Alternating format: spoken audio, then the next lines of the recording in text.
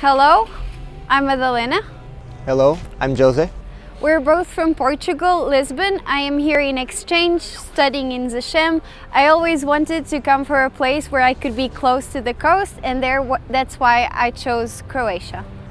I chose to come with her uh, to our travel journey and we are having a lot of fun traveling all around the coast and the country.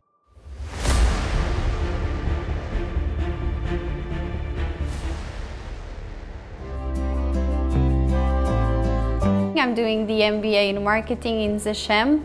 I really, really love it because it's super practical and the professors are really worried to send a message and for us to pursue and create our own brands and our own startups and that's the main point. Uh, we really love to go on uh, traveling from all Croatia, from all the coast during our free time and I do as well uh, streaming. I stream in, on Facebook. So that is my biggest passions here.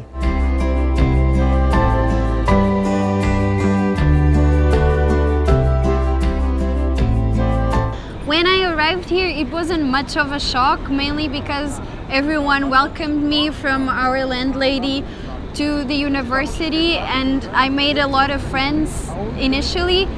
So it was really, really nice. We really wanted to share our passion for Croatia and we started our YouTube channel, so that was a huge eye-opening.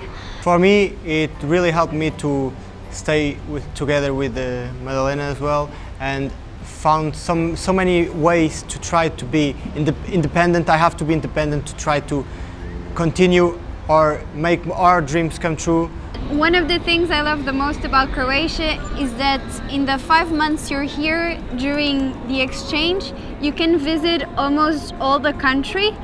But a problem that I found in now visiting and trying to explore Croatia is that there are some places you don't have access through public transportation.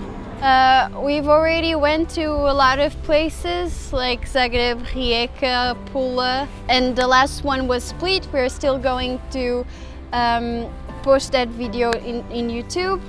Well, my favorite city for now, uh, it was Split. We had uh, a lot of fun in Split and in Hvar, in the small island we went there, just driving around. It was pretty nice. I really loved Rovinj. It's a very small city, but all the colors make me feel so cozy in there. our future plans pass through to make our dreams come true and to make our YouTube career grow as much as we can. If you're having doubts about where to go in Erasmus, come to Zagreb. It is the perfect place. The people are super welcoming. It's a safe place and it's super beautiful. We are having the best time of our lives. So if you have a doubt, don't.